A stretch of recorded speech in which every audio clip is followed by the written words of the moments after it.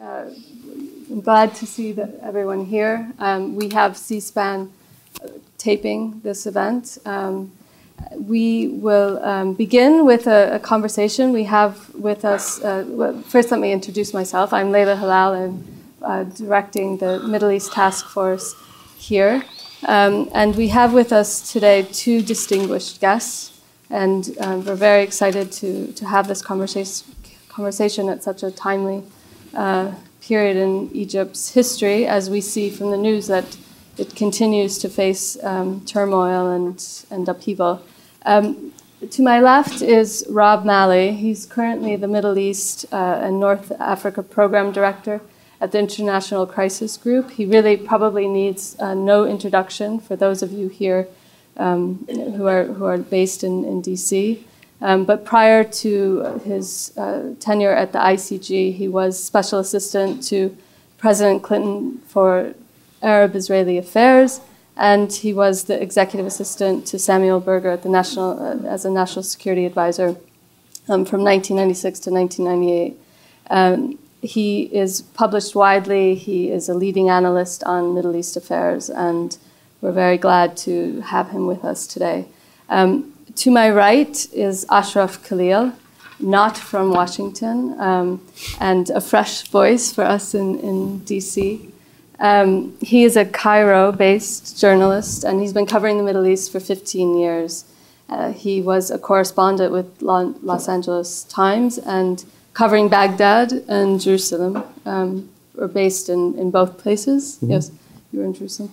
Um, he has previously reported for the Wall Street Journal, um, Foreign Policy, and the Times of London, and The Economist as well.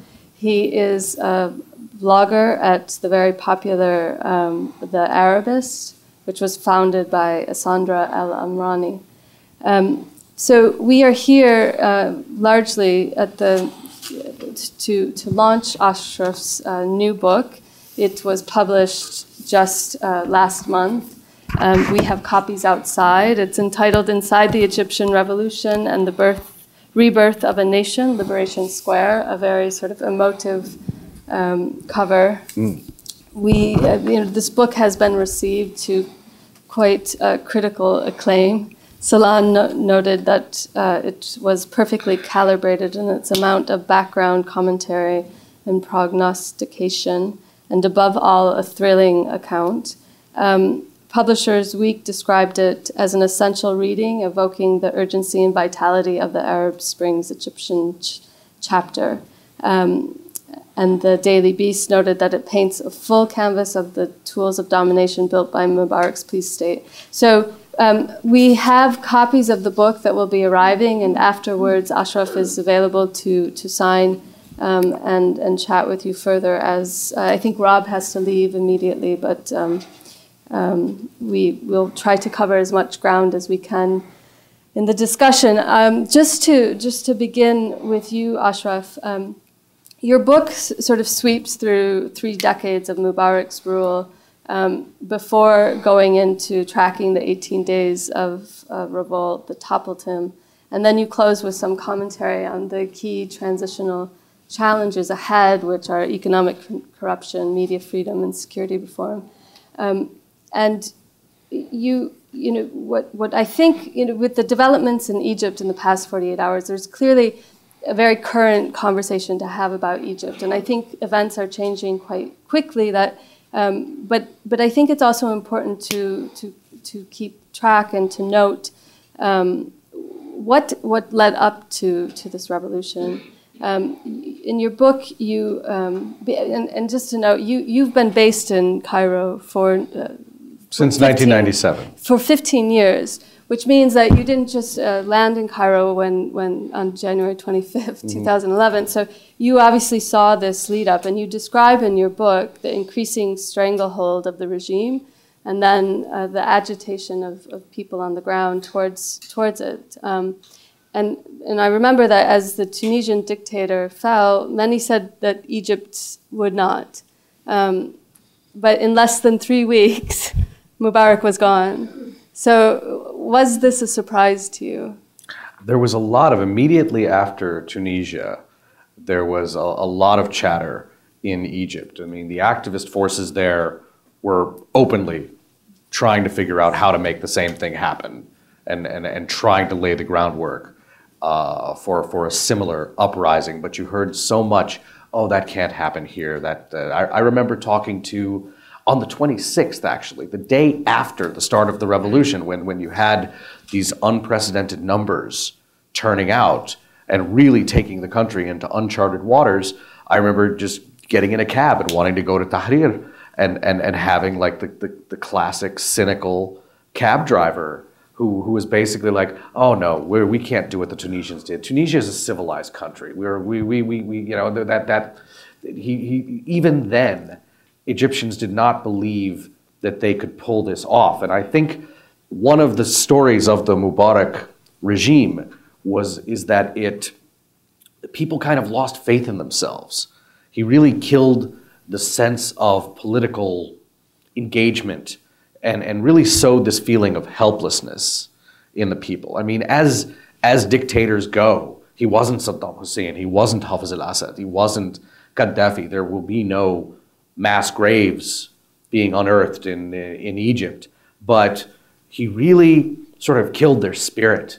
And it took a while, but I mean, people just lost faith in themselves. And so, one of the, immediately before the revolution started, the Arab League had a summit uh, in Sharm el Sheikh, an economic summit. And it was, it was right after Tunisia and right before Egypt. And Egyptians were starting to set themselves on fire. You had that very disturbing little mini trend happening in Egypt. And all the Arab League delegates were all like, oh no, it's not possible. This is not Tunisia. You know, everybody had a reason why Egypt could not, why the example could not be repeated.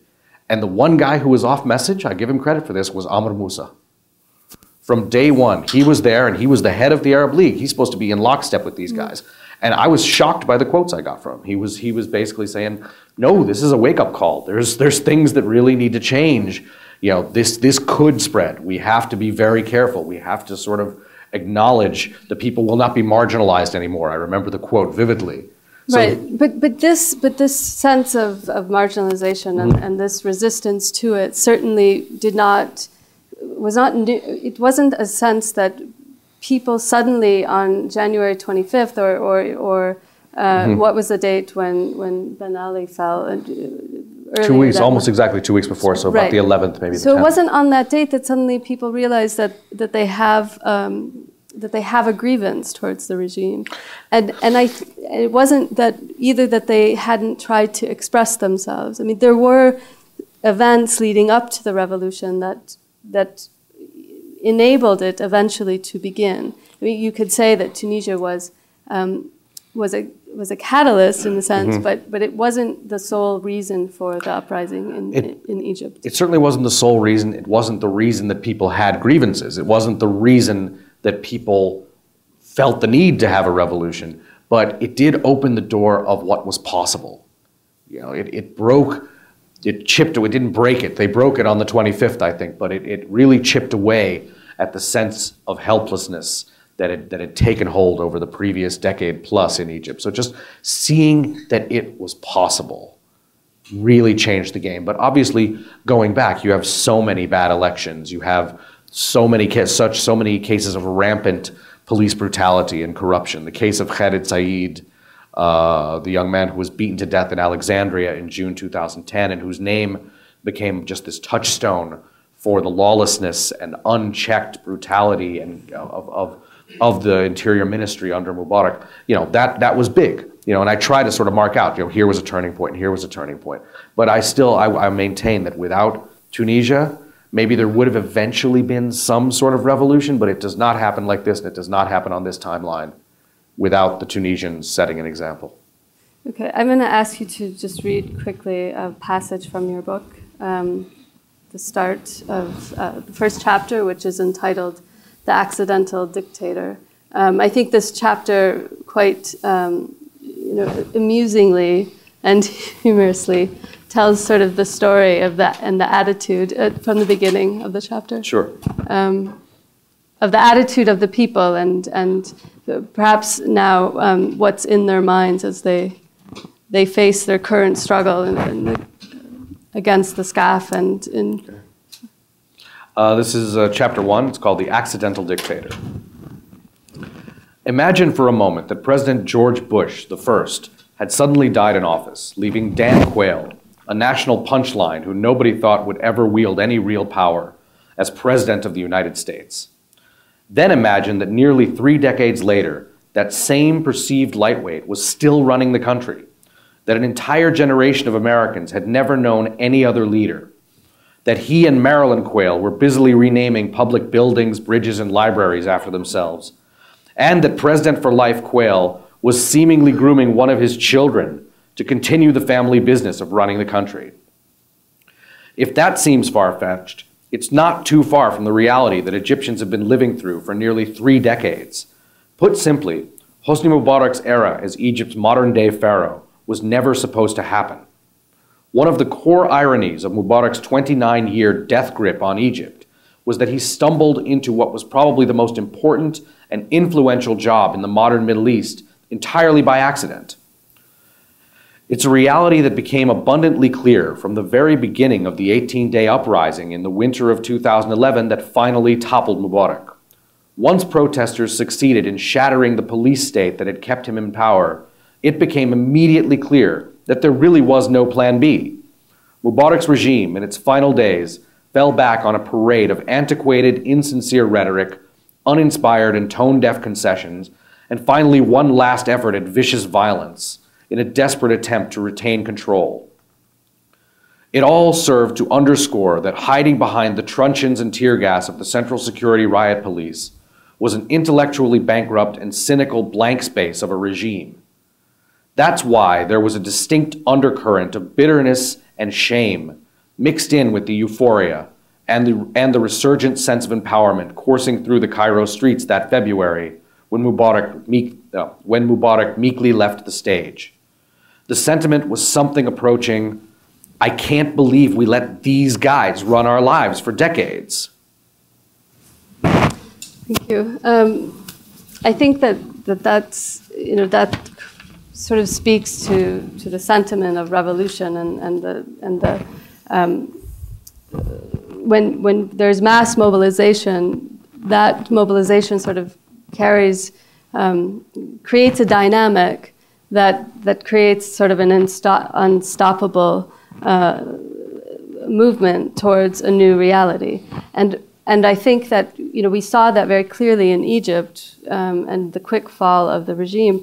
But we, we also contrast it with a place like Syria, mm-hmm. where you know, after 10 months of uprising um, and, and clear sort of public statements and, uh, from the Arab League and, and uh, the US and other major players for the regime to, to go, there's still, uh, it still holds tightly to power. And, and I wonder, you know, what, what in these revolutions is the tipping point? What, what, what makes the difference in terms of, of changing uh, the dynamic on the ground where to confront such entrenched power? And you were, you were in Tahrir for, for those 18 days. So, you know, in your, your observation, what, at what point did the balance of power change? What was the tipping point? I think I think there was multiple small tipping points with with Tunisia as the final shove over the cliff. I mean, I think you had you know multiple years of the relationship between the police, the interior ministry and its relationship to the citizens became toxic maybe 10, 15 years back and just stayed that way. And you had so many cases of that. The economic situation is an underreported possibly element of this in that that you know seeing not just how much harder life became as costs went up and salaries stayed the same, but seeing the top 5% obviously flourishing so well and obviously seemingly operating under a completely different set of rules than everybody else was operating under that played a role. Uh, you know, the, the November 2010 parliamentary elections was just such a clear slap in the face that you know that just showed it was it, the, you know the, the ballot stuffing was so over the top that it just showed that the government was regressing as much as anything. And and one of my I mean this is kind of a corollary to the, the economic situation in that because of the economy, because of the lack of jobs, you had successive generations of young men who had no hope of ever getting married. They couldn't find a good job. University degrees, 28 years old, 35 years old. Nothing, you know, the only jobs available were ones that didn't pay them enough to even make it worth getting out of bed which means they can never move out of their parents' homes, which means they can never get married and never really start their life. I actually think one of the underreported aspects of this is how much pure sexual frustration played into the Egyptian revolution, in that right. you had generations that could never start their lives, could never afford to get married. But on the, and you talk about that in the book. You you, you note this uh, this film cultural cultural film, film. Sakafi, cultural um, film. Yes. As as you know, it's a it's a humorous uh, slapstick comedy about mm-hmm. these guys that are trying to find a place to watch uh, a porno film and. Um, because because they're living at home, they they have university degrees, but yet they're living at home. They're they're in their late twenties, um, but because they can't get married, they can't they they they can't find a place to be alone. They can't have sex. They they can't. Um, so they're stuck. But you know what what is humorous is actually poignant because it, it tells the story of the frustration. And I met guys on the protest lines who might as well have been characters from that film, in that right. they're you know they tell me with two sentences I know their entire life. They're they they graduated, they have a good degree, but they don't have any influence. Their father couldn't hook them up with a job or didn't have an apartment waiting for them to get married in. So they're just they're just 28 at home. But and that's have, their life. have these people returned to their homes? Are they still in the street? Because um, you know we're hearing of continued demonstrations mm-hmm. and, and protests, but we're also being told of the silent majority which uh, doesn't support the protesters, and the protesters are in the minority. So where where are these frustrated youth? Are they just are they just are they sort of overcome by a sense of uh, pessimism, or do they desire to just return to normality? You know, has the revolution become sort of a marginalized effort, um, despite the continuing uh, need for, for change and reforms? It's, it's a good question. I mean, some of these youth are still out there protesting, and many of them have gone home. And, and the issue of whether to continue street action is a very divisive issue, as you said, in Egypt. The, uh, the November and December clashes, you know, you had two separate outbreaks of violence that were like in and around the electoral cycle. It was bizarre. You would have massive violence and people dying and people losing eyes. And a week later, five days later, and three blocks away, you'd have a polling place open with a line down the block. And then a week later, there'd be massive violence on that same stretch of street. It was, it was surreal. But I think you're right in that those protests, especially in November and December, were hugely unpopular.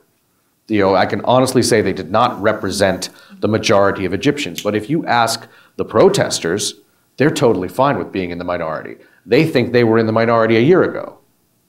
You know, they think the phrase that you hear in Arabic all the time is Hizb al-Kanaba, the party of the couch, which is their derisive term for the, the, the silent majority of fence sitters that basically sat at home nervously watching television and came out to join the party on February 11th. Uh, you know, after this 10%, 15% hardcore minority did all the hard work for them. I mean, I'm speaking uh, like I'm just telling you what they're thinking. So they know they're in the minority at this point, and they're totally fine with that. Right. So, so Rob, I'm just going to bring you in now, and, and I think you know we've um, you, you've, you were in Egypt uh, in December and January, and you had the opportunity to meet with a cross section of political actors, and you have your own sense of, of what's going on there on the ground. And um, recently, in the past 48 hours, we've seen that um, the demonstrations have sort of been renewed um, with, and there, there is a block of activists and liberal parties that have um, come out with a platform for, uh, for the military to turn over executive powers to an elected civilian president. Um, and in fact, you know, my sense from reading the news is that there's an effort to sort of to, to build public consensus around this demand for the military to, to um, hand over powers. This, the, but the military is resisting this, um, and, and the understanding is that they want to maintain uh, control over the, the drafting of the constitution in order to build in protections of their major interests. Um, and yesterday, when, when the protesters attempted to advance on the parliament, interestingly, I think, to, to hand their demand for transfer of civilian power to, the, to this new elected um, body, the Muslim Brotherhood um, blocked, uh, mm-hmm. blocked that event. Um, and, and so what I'm wondering is, you know, you know are we facing the counter-revolution in Egypt? Um, you know, is, is, is there an effort now to just solidify the new reality, um, which, which people in the streets um, feel is not consistent with their original demands for um, empowerment, dignity, uh, I don't know, civil liberties, um, given, given the interim period where the SCAF has uh, cracked down violently on, on demonstrators and, and, and uh, asserted itself um, in a way that indicates that it wants to re retain um, its prior control over the economy, over um, sort of foreign affairs. Is this the counter revolution, um, in your uh, opinion? First, um, two preliminary uh, yeah. comments. Th thank you for your very nice introduction, though. When you insist on uh, that Ashraf is outside of Washington, you sort of depict me as a Newt Gingrich to his view, yeah. which try, I appreciate. Um, secondly, I highly recommend you all read the book, which is both extremely informative and very entertaining. Um, I want to touch on a few, a few of the points that, that you did. Uh, first, you, you make the comparison between Egypt and Syria and others. I think there's one element which is which has been decisive in a number of these, uh, of these cases, which is what's the attitude of the security forces. Mm. I mean, in Egypt, you could make the argument that it was both a revolution and a military coup, and it's unclear which of those two was more important when. Uh, military coup may be piggybacking on, on a popular uprising and, and trying to perpetuate Mubarakism without Mubarak. Whether they'll succeed or not is a different matter, but I think that's part of the reason why things went so quickly. In Syria, there's in my view, no such chance. You can't have the current regime surviving by deposing the power structure. They just, it's much harder to do. They may try, but I think it's much harder to do because they feel like once Bashar goes, they may all go with him, and that's a much more dangerous scenario. So that, that, that's, that's point number one, and I think if you look at Yemen, if you look at Bahrain, all these cases, one of the key determining factors is how is the security apparatus constituted, what is its nature, and what's its relationship with, with the regime. Um, second point, and this is, a, you mentioned the Arab counter-revolution. That's the title of the article that Hussein Agha and I wrote several months ago. Um, one of the points we make in the piece is that the Egyptian revolution in particular was sort of an anti-Leninist revolution. You know, yes, I think Ashraf is right that there were people organizing it, but there was no clear leadership. It was entirely nonviolent, at least in terms of the protesters. Uh, there was no ideology behind it. There was not a program. You didn't have the Communist uh, Manifesto. You didn't have. Uh, uh, uh right. It, it wasn't even like the Iranian Revolution in that sense, which was an extraordinarily powerful uh, attribute of attribute of, of, of the uprising because it was almost impossible for the regime to tackle. They were much better prepared to deal with a violent uprising than they were with this, I, because it's sort of like Jello. They didn't know how to how to go after it. But the strength of the revolution, I think, in many ways, made it was a weakness after Mubarak was toppled because you didn't really have a party, a constituency, an agenda, you had protesters. And I think that brings me to your, to your main question, which is what is today the power of these protesters? Um, and, and why is it that you have this tension between those in Tahrir Square and, and, and others, maybe the silent majority? You know, when I, when I was in Egypt, lots of the conversations I had revolved around that. And I think I agree with Ashraf that a lot of the people on the street don't really care if they're a minority, and they believe that they were a minority then. Something has changed. There's been an election. And a number of the Egyptians I spoke to, even who might have been sympathetic to the revolution at the time, said, wait a minute, we just had an election.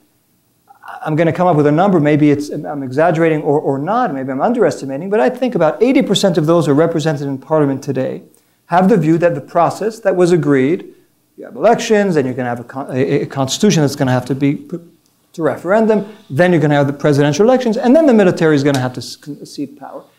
Most of the people, vast majority of those who voted and who are, and who are represented in parliament, believe that that's okay. And then you have large number of demonstrators, but who didn't perform particularly well in the elections, who are calling for another trajectory, another, another timetable. it's hard today for them to have, in the long term, le- the legitimacy they had even as a minority during the revolution, when you now have a legitimate process, I mean, with faults and, and, and, and, and whatnot, but a legitimate process that put in power people who are prepared to live with the, uh, with the timetable that was agreed. I think that's a, that's a real problem now for the people. That's a big who are on the distinction, you're right. It's a big, I'm sorry. Big distinction, you're right. Yes, and I don't know how. I think over time their legitimacy is going to erode. It will revive, in my view, if and when the politicians who are elected in power prove incapable of dealing with the big problems that Egypt has to deal with, whether it's the political transition, whether it's the economy, whether it's security. That's when perhaps the protesters can revive their legitimacy. But right now, I think they're gonna, they have to make a calculation, which is how do we maintain legitimacy when most Egyptians who voted seem to have voted for something different? And I think the Muslim Brotherhood has been very clever so far in managing a complex sort of triangle relationship between itself, the SCAF, and the protesters. And their view, I think, is to say to the protesters, we agree with a lot of what you're calling for, but right now there's a political process which we have to defend, which is why they formed this human shield uh, to prevent the protesters from, from, uh, from gaining access to the parliament. Um, I think it's going to be a very interesting game now between those, what I see those three actors, the SCAF, the Muslim Brotherhood, and the protesters, all three of them sort of playing blind chess because actually worse than blind chess. They don't know what the other party is going, how the other parties are going to act because it's a new game. They don't even really know how they're going to act because it's a new game for them as well. So, Ashraf, can you comment a bit and, and tell us sort of how you see the, the relationship between the SCAF and the Muslim Brotherhood unfolding, um, the power of the protesters? Um, because I know I've heard you in other contexts say that, that, they, that the street has been able to extract concessions, and, and you see that as, as an important uh, dynamic. But what is the, the sustainability of those protests given? that you have the elected parliament, um, given that people just want to see you know real change on the ground. Um, Well, I, I do believe that, I mean, one of the, if, if anything, the, the military has only itself to blame for the, for the, for the, the stubbornness, the enduring stubbornness of the protesters, because the protesters can, can pick up a calendar and point to street action, concession, street action, concession. They, can, they, they cannot be blamed for thinking that the only thing that has produced genuine, serious concessions from the military has been street action.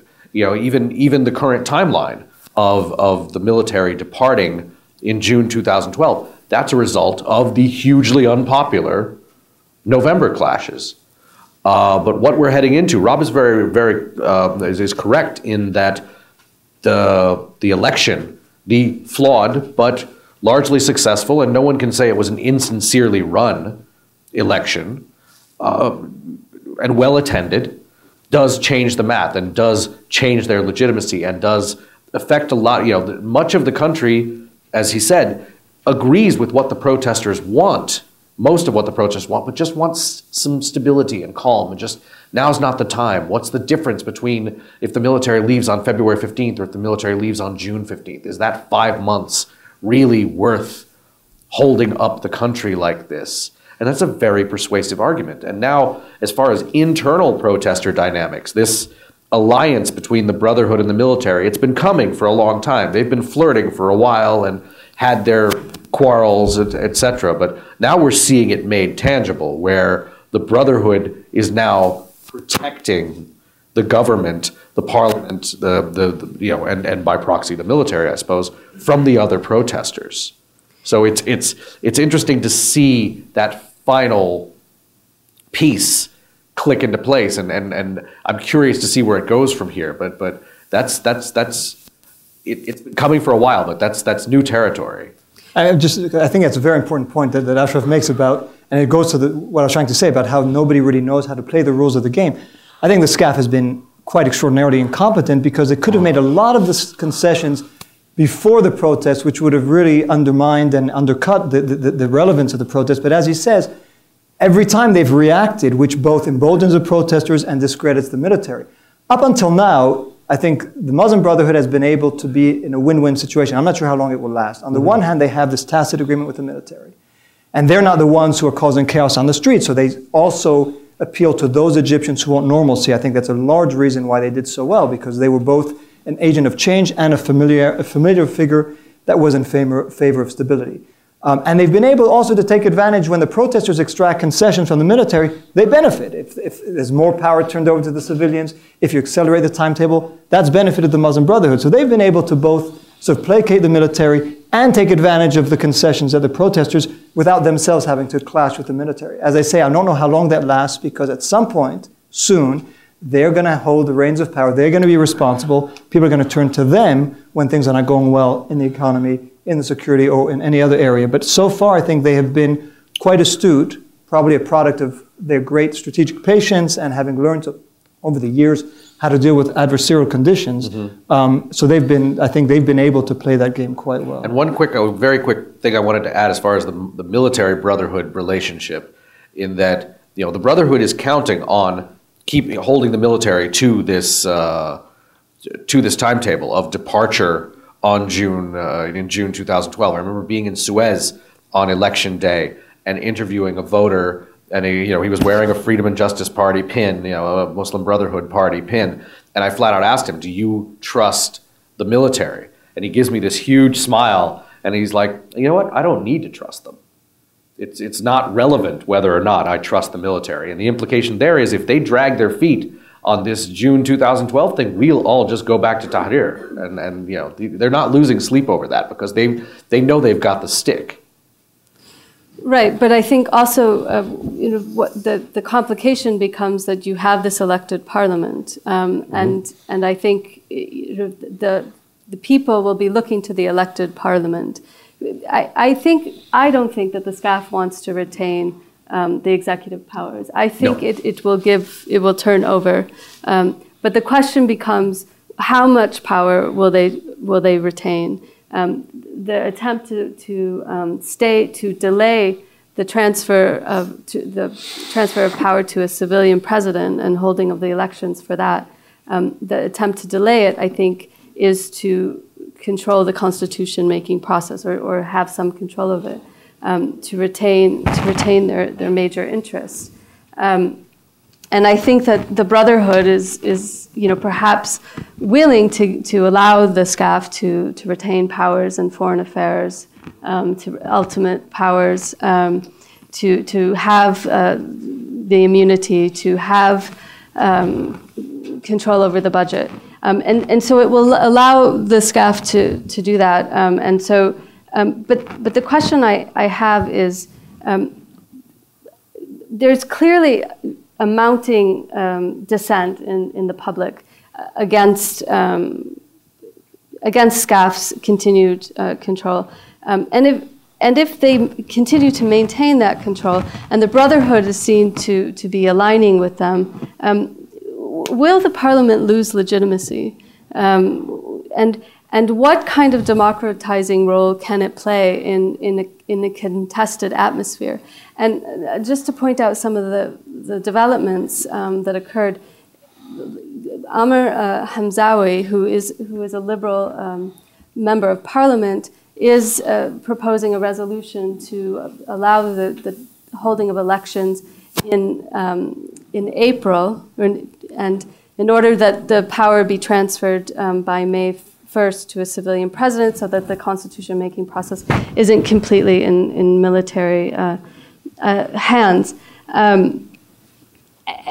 and and the, the, there were liberal members of parliament that walked out of the session yesterday um, because of their complaint that the, the Speaker of the House, who is um, from, from the Freedom and Justice Party, the Muslim Brotherhood Party, um, was biased in his, uh, in his deliberations and who he was allowing to speak. So, I mean, there is a small chance that the parliament will, will be, and, and if the protesters maintain a sit in in front of the, the parliament, there is a chance that it will lose its legitimacy. Um, in parliament. This, the parliament in this contested environment. Um, is, is that analysis, does it make sense in your mind? Um, what, what is the support that the parliament enjoys in, in Egypt now? I, at this point, I think there's a lot of hope for them. I'm not sure if there's a lot of faith, but there's a lot of hope. And, and they are the product of, as, as we said, a, a flawed but, but not insincerely run and well attended election. They are the product of you know, by default, but the best election Egypt has had in, in how many decades. So that brings them quite a bit of legitimacy. Um, But- it's going to be raucous. It's going to be a mess. These are people who don't forget that no matter how well intentioned everybody is, these are people who don't have that much experience as Democrats. I mean, the, the, the Brotherhood, for all their decades of struggling, they, they're, you know, they don't have a democratic structure, you know, internally necessarily, and they're, they're, they're not going to, people are going to probably uh, have temper tantrums and fall out with each other and mistake the natural processes of a democratic coalition building experiment and take things personally when they probably shouldn't take things personally. It, it's going to be messy for a while. Yeah, I'm just uh, two points. First, I, I've always looked at sort of the, the, the, not just the fact that Tunisia inspired Egypt, but a lot of the problems that you have in Egypt are a magnified, magnified version of, of what Tunisia's gone through. And right now, I mean, the elections in Tunisia went well, but for those who are following it, there's a lot of fighting in parliament. There's a lot of suspicion of the Islamists. There's demonstrations of secular forces. So all that, I, I think Ashraf is absolutely right. We're going to see all that. That's inevitable. I think the question also that you asked is about um, how people are going to react to the military's not its attempt to control, as you said. I don't think they want executive power. I think they'd be very happy not to have to deal with what is going to be an extraordinarily challenging economic. Uh, Yeah, they don't want the headache. I Who agree. does? I mean, you know, I don't know why they'd want to control. They would like to have all their, well, they want to maintain some of their prerogatives. Immunity from prosecution, clearly. Uh, no taxation for its, their economic activities, maintain their economic activities, the secrecy of their budget, and an overall uh, uh, leadership in foreign policy and national security affairs. My sense is if it were simply left up to the Muslim Brotherhood, based on what I've heard from them, they could live with that. They could live with it, number one, because they're realistic, and a lot of these things, you know, they don't think really uh, undermine their, their, their power. But also, again, as I said, they have a long view of history. Okay, as they put it, two years, three years, five years, a decade, sooner or later, I mean, they, they have in mind several examples around the region. They don't want to be Algeria in the early 90s when the military got so afraid of a possible victory of the, of the Islamic uh, Salvation Front that there was a, mass, a coup and massive repression. Number one. They don't want to be like Hamas either, where they're isolated, they can't govern, the international community uh, tries to boycott them, so they want to have a coalition. They look at Turkey. It took the AKP many years. But today the military is in its place, many of them in prison or at least be, uh, uh, going to be tried. If it takes them years, they can do it. They've been in the underground for so long now. Now, the question you asked, which is, I think, a very pertinent one, is will the people on the street and other forces start complaining and say this isn't good for us? In a way, the Muslim Brotherhood, as I said, could win either way. They could live with this arrangement, this pacted transition, where it takes, you know, you have an agreement between the military and the political forces. They could probably also live with an acceleration of the transition and some of these prerogatives not being handed over so long as they feel like it doesn't provoke a reaction by the military that's going to compromise what they and jeopardize their hard-earned gains. And I think the question, one question is, if they maintain, these prerogatives, can there be the kind of changes that will be the economic uh, changes, um, the the changes in the security forces, um, these important, the, the opening of the media. Um, will you be able to to have these sorts of institutional changes that will signal to the people that, in fact, it's a new era?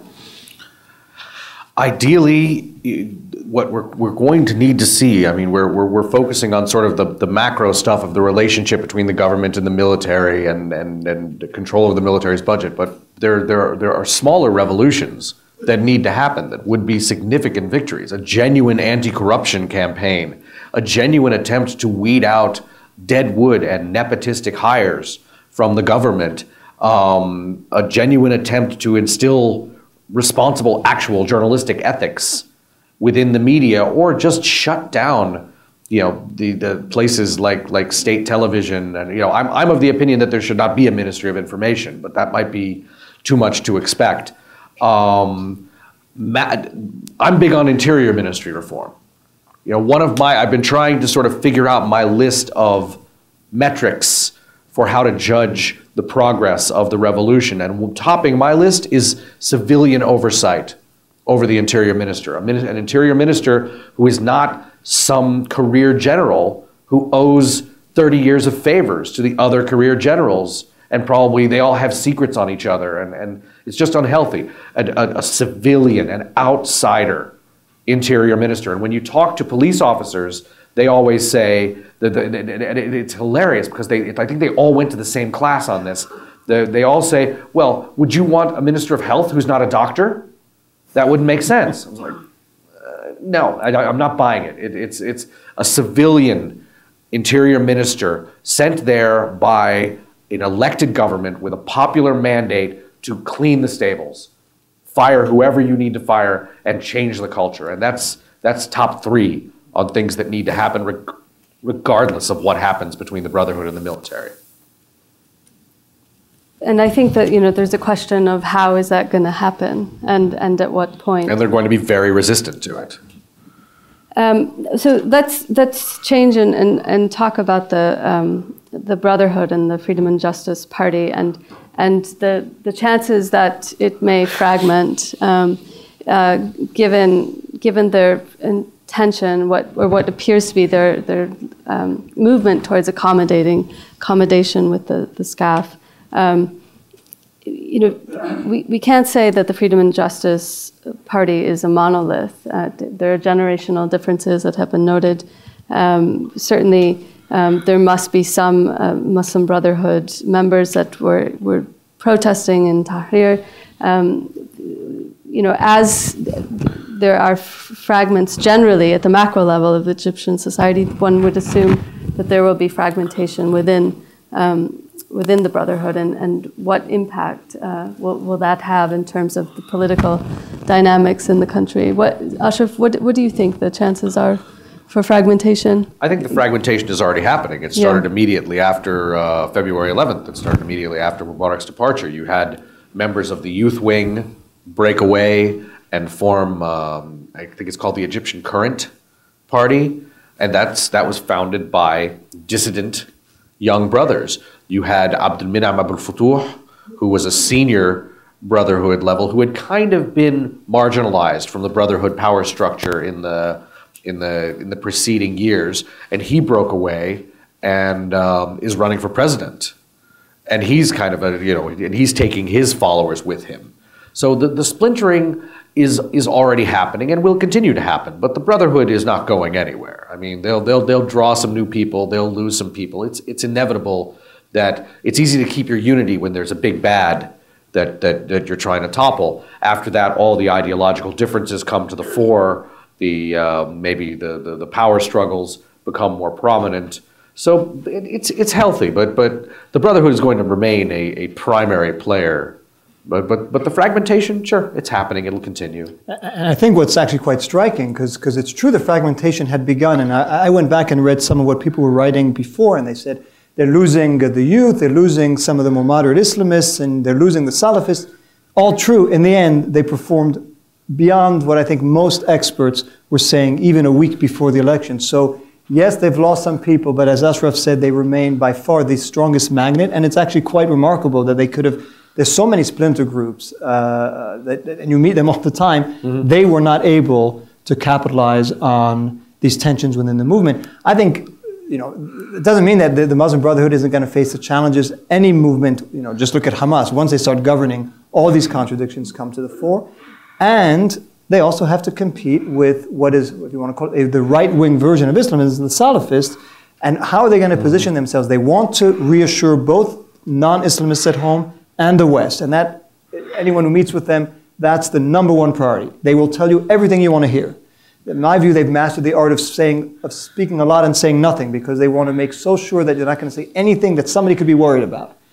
But they are going to have members of parliament, the Salafists, who might introduce, if they want to embarrass them, legislation on social issues, on other issues that is going to make the Muslim Brotherhood have to make a real choice. Do we reassure and risk alienating our base, or do we try to stick to our base and to, to the, where the Salafists want to drag us at the risk of, of alienating uh, the West and, and those in our own country will be worried? I think that's, that's going to be a, a challenge for the Muslim Brotherhood. I think they're more worried about the Salafists than they are either about their own internal problems or about the secular forces. But the Salafists are not going to take a position on foreign policy issues. Um, they, are their interests more internal? Um, because I think it's when um, I think for, from the perspective of the US, when uh, radical Islam becomes a problem is when it, it confronts uh, foreign policy uh, mm-hmm. interests. Um, and, you know, will, will it just be a matter of accommodation between the Brotherhood and the Salafists so that the Salafists can um, do their thing internally, domestically, socially?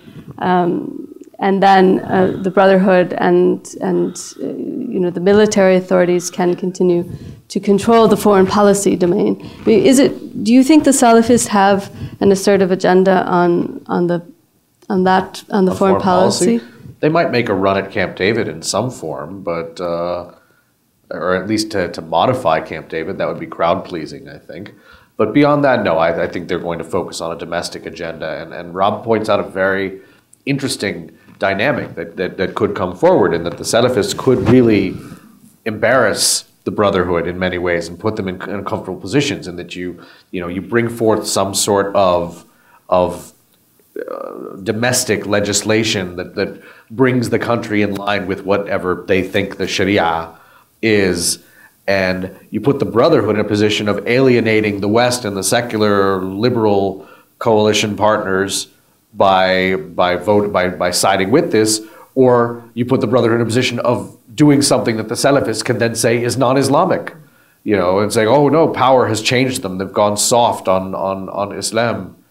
You know, it's it's it's going to be fascinating. I'm I'm kind of looking forward to watching this all play out. It's going to be amazing. I, I would say though, uh, um, having because I, I, you know I, I do think that could be a dynamic. Right now, it's not what we're seeing. I mean, I met the Salafists in leadership in December and then in January. Okay the progress, progress, the evolution in a month was extraordinary. And they've become the Muslim Brotherhood, what it took the Muslim Brotherhood years and years and years to become sort of a moderate, reassuring face. The Salafists are trying to do in a matter of weeks. They've been taking PR crash courses. Uh, that's, That's what the impression it gave, they absolutely. In, yeah. in, December, I, I, met with, with the leader, and, and the answers he gave me were, you know, I wasn't entirely clear, and I asked him, if I were sitting now with your Muslim Brotherhood counterpart, what would be the difference in what I'm hearing? And he said the difference is the Muslim Brotherhood would be lying.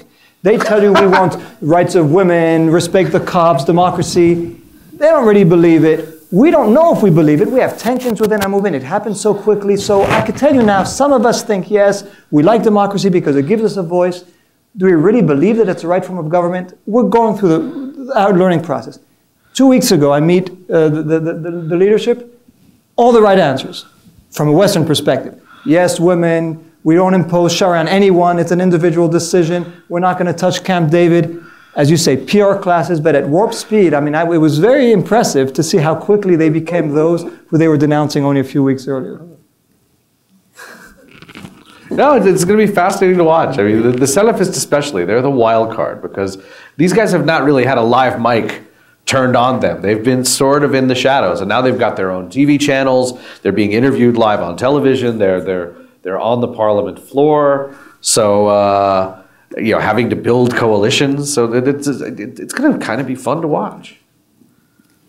Um, yes, I just want to. I guess we have a very enthusiastic, anxious audience. Um, so I was going to just give it another five minutes. Um, I just wanted to ask a little bit about U.S. foreign policy um, and whether or not the U.S. has a role in, in Egypt now, and and uh, you know, given given the internal dynamics, which, as you say, are very interesting, um, and and it will be interesting to watch. Um, should should the U.S. Uh, just play sort of a hands-off role and let let Egypt, um, let the Egyptian politics sort of take their, their own turn. Um, is that even possible, um, given the U.S. Uh, support for, for the you know, very strong, uh, large uh, support military assistance for, for Egypt? Um, what, what, you know, what is the perception of Egyptians, and what is your sense of what role the U.S. can play? No, it's a good question. Context. I mean, definitely the U.S. is right to be treading carefully because, and I'm sure during the revolution there, there was a lot of kind of debate and trepidation of where do we, what do we say, even if even if we, the U.S., are pro-revolution, if coming out pro-revolution could hurt the revolution, and and, and I'm sure there was a lot of, you know, I, I always suspect, and Rob might have more insight into this that you know, in, in and around the military's much lauded and much praised decision to not fire on civilian protesters. I've always suspected there was a lot of very quiet, very firm U.S. arm twisting on that, or, or just, just a kind of a, a, ba- a quiet, don't you dare even think about it from Washington. Um, so, you know, if that really happened, I'm grateful for it. But um, what should the U.S. do going forward? I'm sure it's very confusing. And I would kind of fall back to some of these metrics that I'm trying to devise as far as like, how do you judge a stable or a, a successful post-revolutionary landscape? And I think among the U.S. priorities should be is pushing a civilian, genuine internal interior ministry reform. You know, um, B, civil society, leaving civil society to to to grow without hindrance, without harassment, and that's obviously what's happening right now. My biggest concern, obviously in Washington, the big deal is the, the, the attack on the NGOs. And we're, we're always mentioning IRI, NDI, Freedom House. There's a whole host of Egyptian NGOs that got raided on that day as well. And long after IRI and NDI get their files back and Sam LaHood gets on a plane and everyone hails a new era for Egyptian uh, US relations, these Egyptian NGOs might be completely screwed. They might never get their files back. They might have had their work set back a decade. And I just hope that the administration keeps that in mind and keeps a very sharp eye on leaving civil society to, to grow naturally without harassment. And to focus on the transitional reform that needs to happen. Just two, two general comments. I'm, I'm sure we're going to get into more of U.S. policy in the question and answer, but point about relevance and then a point about effectiveness. Um, you know, it's, it's, it's not entirely clear to me how much relevance the US is going to have. I think it goes to the point Ashraf was making about the rediscovery of domestic politics. People, the political leaders in Egypt are going to have an eye fixated much more on the street and domestic political opinion than they are on what's happening in the corridors of power in Washington. Very unlike the time of, of Mubarak, where the relationship with the US was a pillar of legitimacy. Today, that's not the case. So I think you're going to find, and I think the US has already found to its, to its detriment, that it doesn't have the kind of pull. Or you wouldn't see what you're seeing now with the NGOs, which is such a slap in the face, particularly precisely at the time when the Egyptians need foreign assistance. Mm. Uh, they're, they're, doing that. I mean, it really tells you what they care about in terms of, of, of, uh, of, of the balance between what they hear in Washington what they hear on the streets of Egypt. Um, just an anecdote I was uh, doing a radio uh, uh, show, and there was an Egyptian, very well informed, was on it, and it was the day in November when at 3 in the morning, I think the White House put out a statement criticizing the SCAF for the violence uh, against protesters. And at one point, the Egyptian journalist was asked, I think she was actually a, member, uh, a journalist and politician, what did you think of the US statement? She said, I know there was an EU statement. I think there was another statement. I didn't even know there was a US statement, which, I mean, it was, and I know that the, the US labored for hours about how, how to calibrate the statement. I think it said something about how less relevant the US is. But then there's a question of effectiveness. And one thing that really struck me on this last trip, and you hear it all the time, and every time I hear it, it's hard for me to believe it, but the SCAF and many other Egyptians believe it so much that I can't dismiss it. They're convinced that the US is engaged in a conspiracy to weaken, to fragment, to, this, to, to, to undermine Egypt's power. And I, that was certainly Mubarak's view, I think, at the end of his, of his tenure, but it's the view of the military establishment, and perhaps more. That today, what you're seeing on the street is very much a US attempt. You know, part of this is pretextual. They want to blame an outsider. But I happen to believe that it's also a genuine belief they have. They can't imagine that all this wouldn't have happened with some foreign hand, and the most convenient foreign hand that, or the most credible in their eyes is the US. The US also has a very mixed is a generous word, reputation among other Egyptians. So you're not seeing Egyptians today rushing to ask the US to intervene more, even on the NGO issue. I think there was a piece the other yeah. day pointing out how, and many of the Egyptians we met were as critical of the US funded NGOs as they were, or more so than of the SCAF. So I think the US has to tread carefully, not just you know, for all the balancing of its own interests, but because it has the legacy of an extremely negative reputation having to do with its policies in Egypt, its policies in the region. Um, and that means that sometimes what it's going to say is going to backfire because those, both in power and in public opinion, are going to react against what the US says, not because of the content of what it says, but because of the, the, the perception and the, the, the, uh, the, um, uh, the, the, the, problems of reputation that the US has. Right. Okay, we have a very anxious uh, member of audience here. I'll give her the mic first.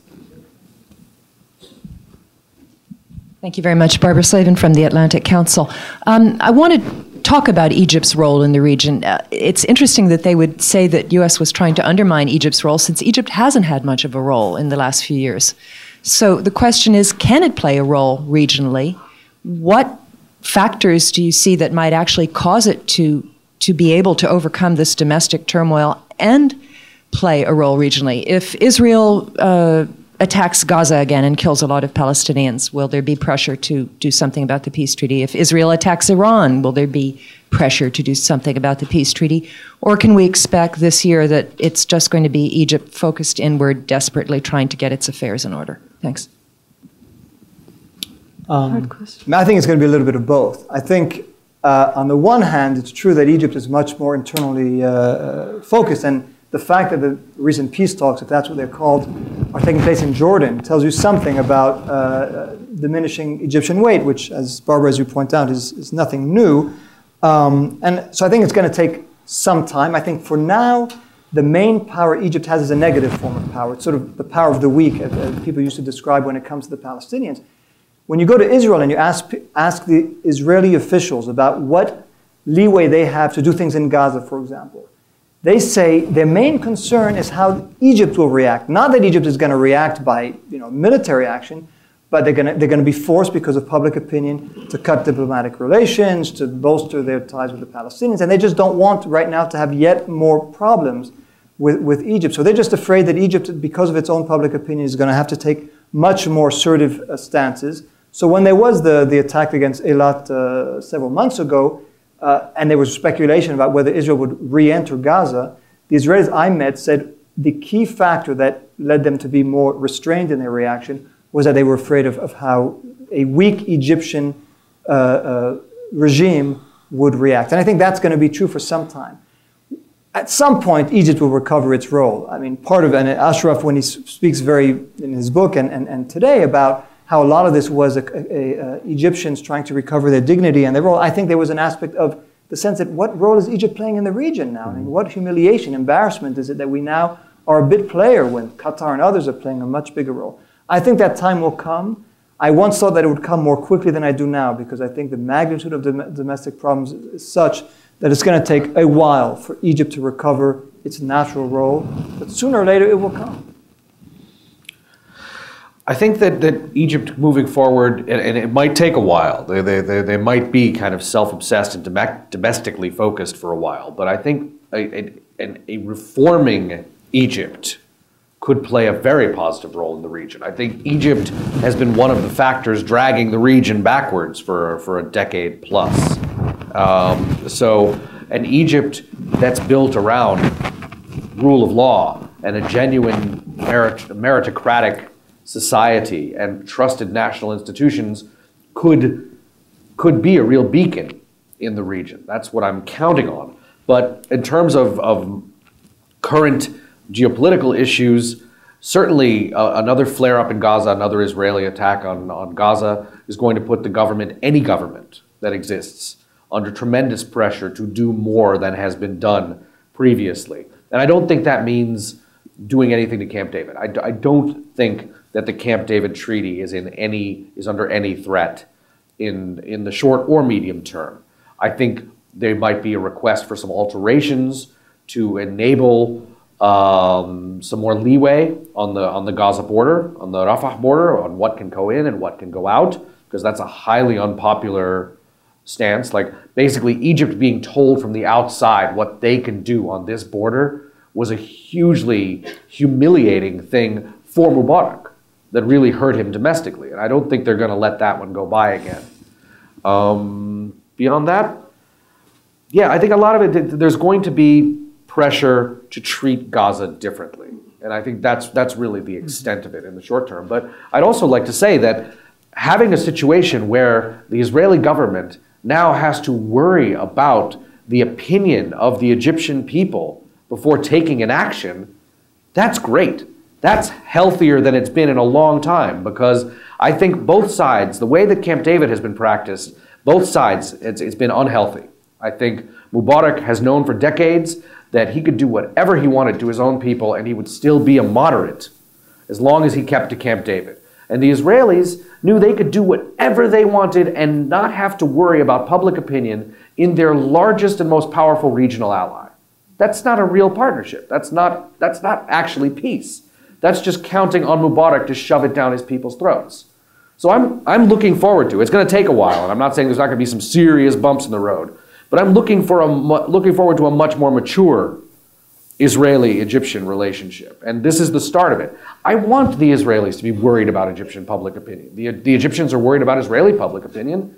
Why not? If I could piggyback on that, because I think that's a very important point. I think that the relationship has been dysfunctional on both sides. Uh, the Israelis claiming that you know they're the only democracy in the region, as if that was a bad thing, but in fact they were very happy dealing with authoritarian regimes uh-huh. because they get, get, get away with things. And the Egyptians, you know, clamoring for Palestinian rights rhetorically, but in fact being perfectly happy to deal with whatever Israeli policies or U.S. policies. So I, th- I, I, think it's both interesting and positive. I agree completely.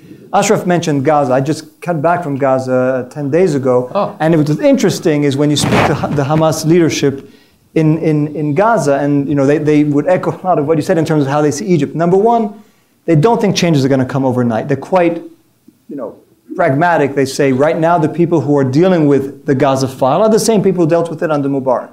But oh. give it a year, they say, and policy towards Gaza cannot stay the same. Rafah cannot be dealt with as before. Egypt is going to have to be slightly more vocal and balance its relationship between Fatah and Hamas. They see this again as a longer term game, um, but they certainly see sort of the winds of history blowing uh, in their favor. At least I'm talking about the Hamas leadership in Gaza. It may be slightly different elsewhere. Okay. Can you wait for the mic, please, because we have C-SPAN. I'm Farzaneh Roudi with Population Reference Bureau in Washington, D.C. Uh, Mr. Ashraf, you mentioned about the role of Tunisia played and the frustration of young people. Uh, my question is, and a lot it has been said about the role of all young people. If Egypt had a population with age structure of Japan, uh, how would have you see this whole revolution would have evolved? Meaning a much older demographic? Right. I mean, this young population were, uh, in proportion to the total population, were less. Mm-hmm. I mean, uh, uh, the impact of being so many young people. What, what percentage of the population is youth in Egypt? It must be 60%. What's 50? the number that you've heard? I've heard any number. Close to half. Uh, 29% of the population is between the ages of 15 and 29. A third is between it, uh, 15 and 29. Okay. A third, okay. okay. No, obviously there's this, this huge bubble of youth coming up and another, and another wave before them that's this kind of lost generation that's, that's, that's 28, that are now 28 to 32 with nothing going on and no hope and no prospects. And, and I, that was a huge factor, of course. The failure of the Mubarak government to provide economic opportunity uh, to these multiple generations, and possibly the failure to provide them with the skills to go out and earn some money for themselves without the, the, the, the sort of um, socialist guaranteed uh, public sector job infrastructure that's kind of going away.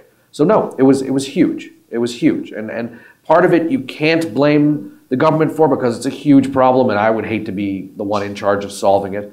But a lot of money disappeared. A lot of jobs were handed out unfairly. Um, you know, they, they, they're, they're really, I do blame the Mubarak government for failing to provide hope for these multiple generations. And, and yes, that did, that was one of the major factors fueling the revolution. But, but, the, but, the, but the youth were not the only ones in the streets. No, the youth were not the only ones. And one of the, the greatest things that, you know, that, that I saw again and again during the revolution was multiple generation families in Tahrir. And, and there, was, there was once a quote, Omar Suleiman, you know, the, the brief vice president, uh, you know, longtime shadowy intelligence chief who served as vice president for like a week or two before Mubarak fell. And he gave this obnoxious interview at one point to, I think, Christiane Amanpour, where he, he, he said, you know, A, he mispronounced the Muslim Brotherhood like four times. He called them the Brother Muslimhood. And and B, he said, it's like, oh yes, we will, you know, what what she, asked, what will you say to the to the to the, the protesters in Tahrir? He's like, oh, I tell them, I will tell them to go home, and I will tell their parents to come and get them and take them home. And, and I did a radio interview like that night uh, with an American radio station, and they, they mentioned that quote to me. And I was like, that's hilarious because I just came back from Tahrir and I was talking to somebody who's there with their parents and their grandmother. So, so that's not going to fly. He's dealing with something much more than irresponsible, reckless youth here. And if they, if they still think that's what's happening, then that's why they're losing this game. I think it'll be interesting to see how the demographics of the protest movement change, if, it, if at all, going forward. Um, we have a question here in the back. Uh, gentleman. This. Thanks. Um, Zach Gold from Brookings. Uh, you started the conversation with one of the main reasons for the revolution was economics, and yet we have not touched on the current economic problems that Egypt has, as well as the insecurity. Police haven't been on the street, banks are finally being robbed. Uh, I was wondering if you could um, address those issues. Thank you. I mean, I'll say very quickly, and then I'd love to hear from, from Ashraf. But I, I, think I did mention that those are going to be the biggest challenges that the new uh, government is going to have to deal with. Economic situation, which is, which is, I mean, the paradox, one of the par many paradoxes of the revolution was that it was fueled in part by economic distress and uh, a sense of economic deprivation, both of which have been made worse. I can't say because of the revolution, but because of the circumstances that exist today. And so that's that's a you know that's that's a huge factor. And the, the insecurity, which is both natural when you're in, in a state of, of, of, of, uncertainty, but also because a lot of the police who feel that they were sort of the, the scapegoats of what happened, they're like, okay, uh, see if you could deal with, with the situation without us.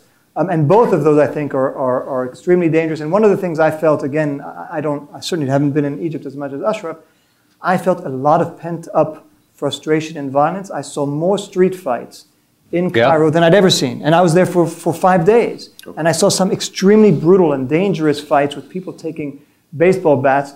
And my, that's very anecdotal, but my impression was here are people who are, who don't really see a future. The, the economy is, is, is, is not doing well. The tourism, I mean, if you go to the Cairo airport, I'd been, I was there a month before the revolution, a year ago, as a tourist, and then I went back at about the same time this year, and the airport was empty, and the hotels are empty. I mean, and for, for an economy that deals that needs stability for tourism, that needs stability for foreign investment, it's going to be, it's, it's extremely uh, uh, harmful. And I'm, this is one of the factors, one of sort of the variables that I, I don't know how they're going to deal with it. And it could go very badly, very quickly if the economy doesn't recover, if the security situation doesn't recover. Who knows what happens next? But uh, you live there every day. So. Sure.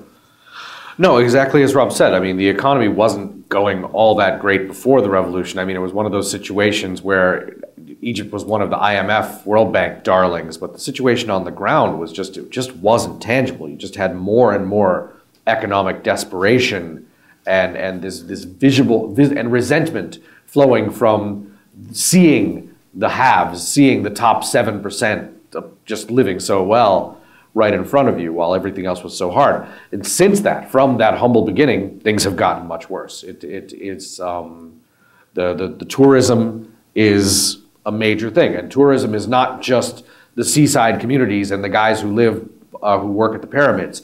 Tourism is one of those things that extends into every aspect of the economy and that's dried up or is operating at very low capacity. And every time there's one of these flare ups, you know, the, the, the, irony is, I keep saying street action is the only thing that produces concessions, but every time you get shots of street violence on television, that's like two more months of tourists gone. And it's huge. And, and that is one of the aspects that is, or that has turned the population against the the ongoing protests. You know, the, the phrase that keeps popping up, and I hear I see it in the newspapers, and I hear it from everybody. And I, I, I it, it's it's integ, the wheel of production. We have to get the wheel of production moving. And the first time I heard that, I thought it was hilarious. I thought it was this weird kind of Stalinist hangover of a term, but but it's it's important. It's really people are listening to that, and they think the protesters are holding up the wheel of production. They think they're, they're, they're, they're holding the country hostage for their for, for their you know irrational uh, demands. So that's you know the, the the economic situation is not great and it's not getting better and and and the the the, the perception of insecurity is is very bad and and, and I do hold the, the the curious thing to me is that people blame the protesters for the lack of security and I get into these debates with people they don't blame the police for not showing up for their jobs like I, I've, I've had these arguments with people in Egypt where where they kind of act like it's the protesters' fault. I was like, I'm sorry, I missed the point where, or missed the part where we killed 100,000 police officers. They're sitting at home. Why are you not mad at them? And why are we not yelling at the interior minister to get these people back on the job? So there's a, there's a bit of a disconnect there, but, but yeah, it, it, it needs to right itself fairly quickly, and I'm not optimistic that it will. It's, it's one of the larger concerns. Okay. Um, here, please.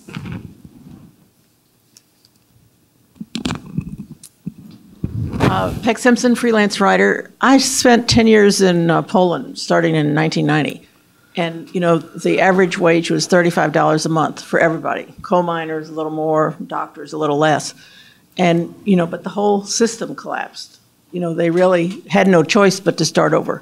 I'm curious as to how, when you had robust tourism, you know, before the protests, there still was this economic inequality, and there still were these people who couldn't afford to have good jobs or get good jobs after they got their degrees to move out. I don't, as you know, with a country that is still there, the whole country hasn't collapsed. You don't have a an opportunity, you know, or an obligation to start over again. I don't know how how you go about rebuilding an an economy, not just to get the old economy back, but to rebuild it so that there is a wider opportunity for everybody. Well, I'll, I'll say a couple of things very quickly. I mean, in that one, intangible things. One, an actual, genuine, sincere, and enforceable anti-corruption crusade. That's going to make a difference. Not only in that less money will disappear, but that's going to encourage foreign investment. I mean, I think there's a whole host of multinational corporations that were willing. It speaks volumes about how attractive a market Egypt is that all these corporations were willing to pay the 10 to 20% corruption tax overhead just to do business in Egypt. Those companies still want to do business in Egypt. If we actually take away, if we even reduce it by 50%, the corruption, if it's only 10% of the money that disappears, that's going to be an improvement. And that's not even taking into account the medium sized businesses that look at Egypt and go, oh, you know, let's just stay out of that. We can't afford the, the, the corruption overhead. So, you know, you can fix things in a, in a way that brings more money in and keeps more money in the public sphere. Actual tax collection.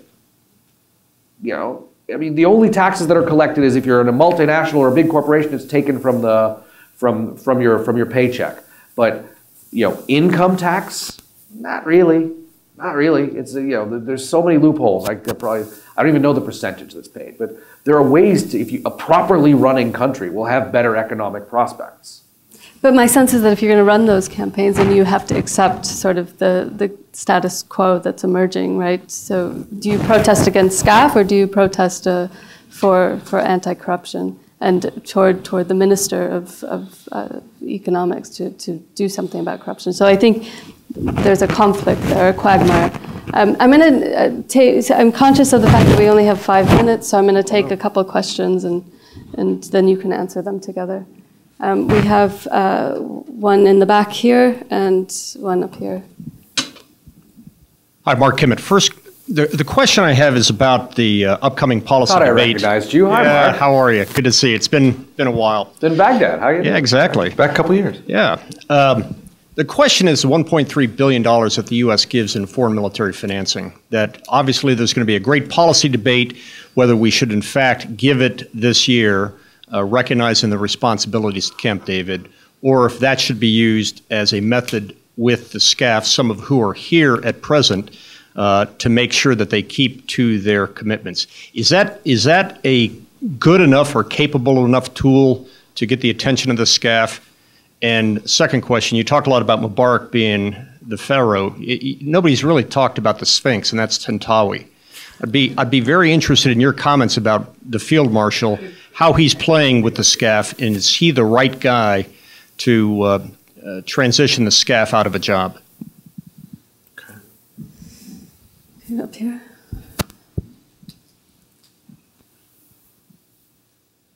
Uh, yes, thank you. I'm Eric Mottu from the International Monetary Fund. Uh, just to continue on the theme of the economy, um, as you know, the, the Egyptian authorities are currently discussing with the IMF and other international organizations uh, on a possible uh, package of financial assistance. My question to the panelists uh, is uh, how do you see the role or the potential role of the IMF and other international uh, financial uh, organizations in supporting financially the Egyptian transition, avoiding a crisis? And do you think the Egyptians themselves are ready to, to accept a role for, for the IMF and others? recalling that in June there was a, a package of assistance uh, worth $3 billion that was signed and sealed, but that was subsequently rejected by, uh, by the, the authorities. Uh, so I'd be interested to hear your views on, on that. Thank you.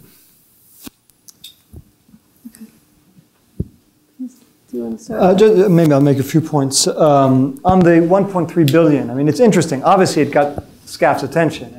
There have been contacts between uh, uh, Tantawi and President Obama. They've been trying to reassure, but not enough attention that it's led the, the SCAF to reverse some of the decisions that were made on the NGOs. Yet, in fact, things got even worse with the sort of uh, prohibition on some, some of the NGO uh, members to, leaving the country. Mm-hmm. So, you know, I, I think at some level, the Egyptian military can't even imagine that in the long run the US will withhold that money because they see it so much part of the post Camp David architecture and they also believe that it's in America's strategic interest to have this kind of relationship with, with Egypt's military. So I suspect that they believe that ultimately it will all will be fine.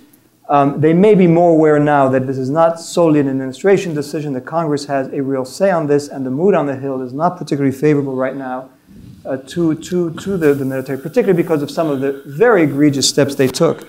So it's a difficult instrument to use because in some ways I think it does, you know, from the perspective of the administration, it would be quite disastrous if they were to cut that funding. Uh, but on the other hand, their hands are not completely free.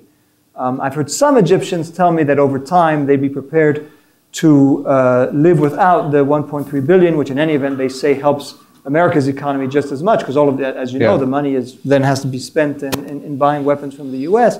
Uh, I suspect that for now they're going to find a way out of this. But I think it may be a, a, a, a taste of things to come. Um, is Tantawi the right person? As I said earlier, I'm not sure that anyone has inherited the job they were prepared for because they all are sort of remnants of another era. So I would not say Tantawi is sort of was, was born and bred to be the person who's going to transition Egypt from military to civilian rule. I, uh, last thing I'd say, and as we were discussing earlier, the mismanagement, just in terms of tactics, of, of you know, if you know you're going to ultimately make a concession, Make it when it looks like you're doing it magnanimously, not under pressure because you sent all the wrong messages. So my sense is he's not actually you know, the, the right person. And we'll have to see what happens after June, July. I mean, is, does he still have that position? Some people say he'll leave. Other people say that you know, there's temptation for him to run for president, which mm-hmm. I, I kind of doubt. Um, but no, I think right now the military leadership is dealing with a deck of, of cards that it's not familiar with. It's trying to protect as much of its interests as possible while at the same time transitioning to civilian rule, which from their perspective will give them the power they will they hope will leave them with the power they want without the responsibility that they fear. Okay, yeah, the, the using the military funding. I, I like what Rob, Rob was saying uh, the, that the I think the military is starting to come to grips with the fact that that just having tight relations with the Pentagon is not enough they're, they're starting to understand that their standing in Congress is not as good as it was a year ago and that that's important. And I'm sure they're not quite sure what to do with that. Using the military funding as a lever, I, I suspect, as, as, as Rob said, that the, that the military would not take that threat credibly. I think that they think at the end of the day, the money's going to come from America and I'm not sure. I, I, I, don't know where I stand on that. Whether I think they're right about that or not. As far as how it's used or the, you know the public perception of that, I know within the activist community, the, the, the, the quote unquote Camp David money, you know, I, they don't think it's important at all. They don't. They, they, they think that most of it doesn't stay in Egypt, and that which does stay in Egypt stays in the military. So it was never, you know, the, the I, I know many longtime activists that have argued passionately that that it's worth walking away from Camp David. That, that, that, that the Camp David money is overrated.